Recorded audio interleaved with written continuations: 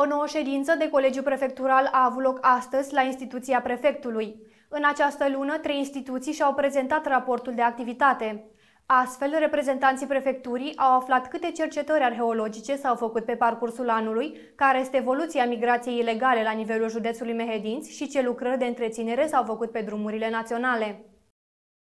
Trei instituții au venit la raport în fața reprezentanților prefecturii Mehedinți la ședința de colegiu prefectural din luna septembrie. Conducerea Direcției Județene pentru Cultură Mehedinți a adus în atenția prefectului că a crescut numărul cercetărilor arheologice în acest an. Din activitățile specifice derulate în anul 2023 pe zona de arheologie, aș vrea să punctez câteva aspecte. Uh, la finalul anului 2022, uh, uh, potrivit repertoriului arheologic național, existau în baza de date înregistrate 227 de situri.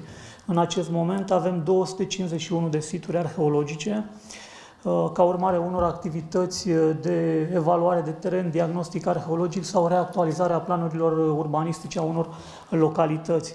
Uh, mă refer la situl Brazda lui Novac, tronsonul Pădina Mică, situl arheologic de la Slașuma, punctul la Râpă, situl arheologic de la Pădina Mare. Reprezentanții secției Drumuri Naționale Drobeta Turnu Severin au pus pe masa prefectului toate îmbunătățirile și serviciile de întreținere a drumurilor și podurilor pentru a spori siguranța în trafic. S-au executat lucrări de prevenire și intervenție pentru combaterea formării poleiului, și înzăpezirii drumurilor prin aprovizionare cu material antiderapant, răspândirea materialelor antiderapante, plombări, gropi cu mixtură stocabilă, dezăpezire mecanică cu utilaje proprii și închiriate, efectuarea de revizii pentru informarea privind starea drumurilor.